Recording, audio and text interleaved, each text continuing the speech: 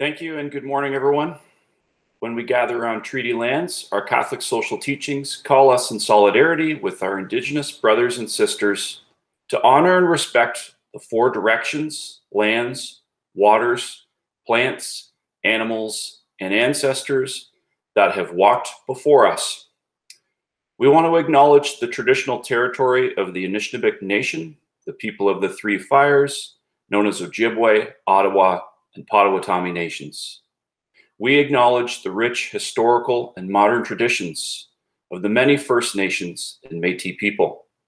We further give thanks to the Chippewas of Saugeen and the Chippewas of Nawash, now known as the Saugeen Ojibwe Nation, as the traditional keepers of this land.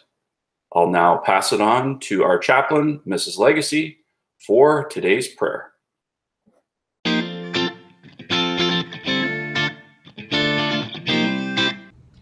Good morning, Sacred Heart. Today is Tuesday, May 11th. Today's reading is from the Epistle of Peter. Blessed be the God and Father of our Lord Jesus Christ. According to his great mercy, he has caused us to be born again to a living hope through the resurrection of Jesus Christ from the dead. The word of the Lord. Thanks be to God. The ability to balance opposites is a mark of spiritual maturity. We must be able to take school seriously enough to maintain good grades, but not take it so seriously that we think our grades define us. In a similar way, we must be able to feel sorrow and pain in the world, yet not allow it to overcome us.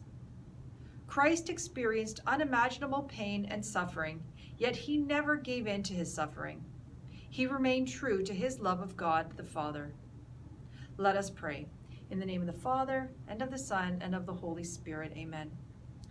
Guiding Christ, keep us afloat amid the waves and currents that we face. Baptize us in this sea, and let us be born again today. Amen. Sacred Heart, have mercy on us. In the name of the Father, and of the Son, and of the Holy Spirit. Amen.